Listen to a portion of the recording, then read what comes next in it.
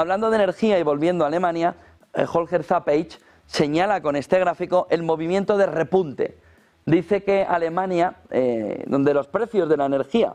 eh, dice en un tuit, estarían subiendo nuevamente con los precios del gas alcanzando brevemente otra vez los 50 euros por megavatio hora esta semana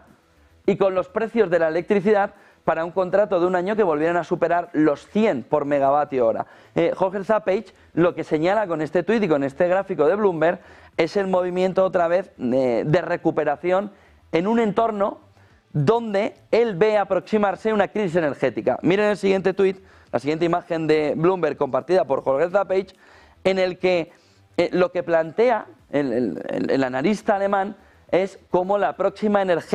crisis energética se está vislumbrando incluso antes de que comience el invierno. Dice que los niveles de almacenamiento de gas han caído al 93,4%, que le puede parecer un nivel suficiente, pero no lo es. Dice que es de los más bajos en este momento si lo comparamos con 2023, con 2022 y con 2019. Y dice que los inventarios actuales estarían solo ligeramente por encima del promedio de 5 años, con un almacenamiento de gas que es un salvavidas sobre todo para los periodos más fríos. Una vez que se ve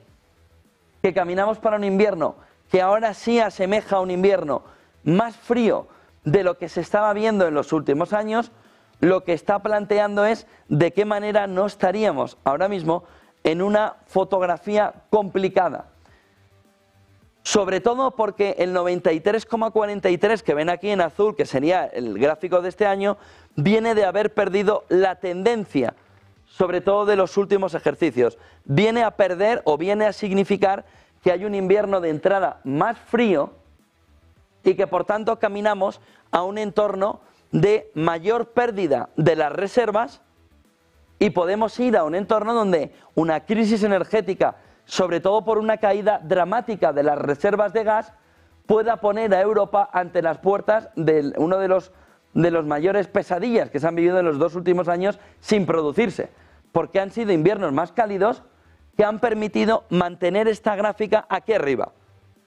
marcándonos el camino en 2023 en este verdecito y en 2022 en este color amarillo dorado, en una situación en la entrada del invierno, aunque fíjense, si aquí, siendo unos inviernos más cálidos de lo que se prevé en este, en el invierno de este año, el movimiento de caída, ¿qué aceleración tiene? Solo para comprobar luego que realmente el invierno no era tan, tan, tan frío como se esperaba. Pero si el invierno viene con esta dureza ya, lo que se estaría planteando es hasta qué punto las reservas no pueden quedarse en una situación complicada y Jorge Zapage lo que empezaría a plantear es hasta qué punto no empieza a avecinarse una crisis energética por culpa de un invierno más frío del esperado y habría puesto o podría poner otra vez a Europa ante la tesitura de no haber hecho los deberes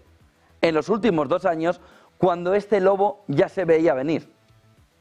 Lo que pasa es que se decía que venía el lobo, pero este nunca venía y de repente se plantó allí. El otro elemento fundamental de la mañana nos viene o nos devuelve aquí a España, en un entorno donde Pedro Sánchez va a hablar en